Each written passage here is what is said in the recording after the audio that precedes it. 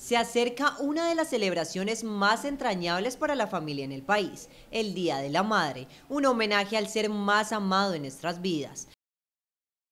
Desde hoy iniciaron distintas actividades en sitios de entretenimiento y lugares de ocio en la ciudad. Algunas personas escogieron las llamadas viejotecas para celebrar este evento especial.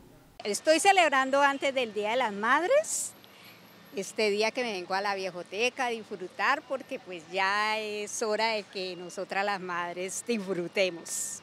Me siento muy orgullosa de mi hija, de mi nieto y pienso que este es el momento en que nosotras tenemos el derecho como madres de poder disfrutar en este lugar bello donde pasamos las tardes otoñales. Ahora es cuando necesitamos afianzar la parte social, fortalecer la amistad, la reconciliación, el apoyo y la contribución de unos con otros.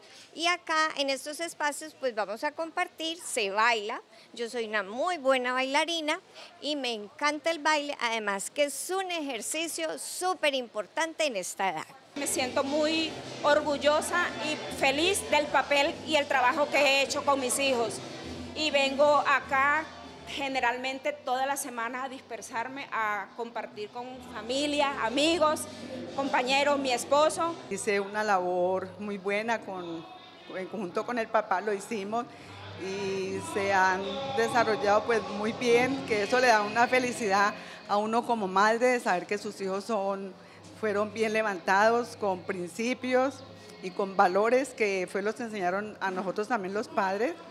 Y bueno, entonces ahora me toca a mí disfrutar. Hoy en día ni cuido nietos. Estoy pensionada y soy feliz porque me estoy gozando el último tiempo que me queda de vida.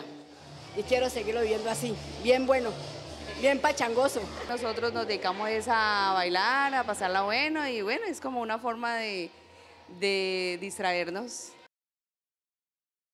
Hoy por ser el Día de las Madres, venimos aquí a la viejoteca porque pues ya es el tiempo de nosotros dedicarnos a nosotras mamás.